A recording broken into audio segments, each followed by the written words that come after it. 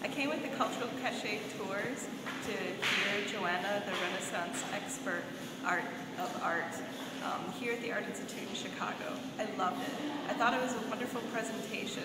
She explained a lot about the style and the Renaissance Italian life and what is depicted in the paintings. The paintings were magnificent.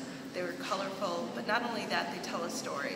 So she was able to tell us a lot of really interesting features about not only the artists, but what they were to portray. Uh, it was very entertaining. The time went by very quickly. I really enjoyed it. It's one of my favorite things to do. So I'll be definitely going to more.